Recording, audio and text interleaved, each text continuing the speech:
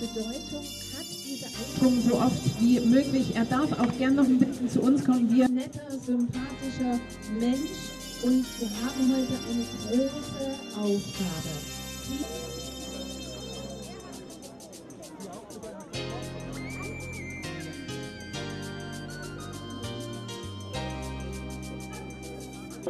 Lernen, lernen, lernen. Examen ablegen. Würde nicht gesund sein. Die Gesundheit war für manche Los geht's und alle Teilnehmer können natürlich den Lehrpfad nutzen.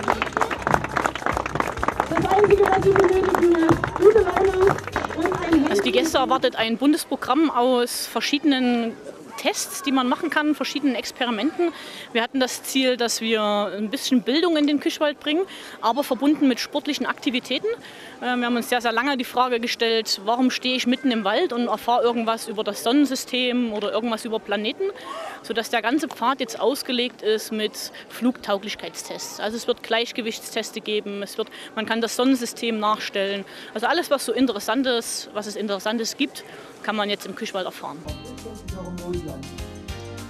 Als die Wohllandung war, haben sie das haben wir gebraucht, meine Eltern hatten das noch nicht, weil es mir jetzt gerade kurz klar. Als die Wende dann kam,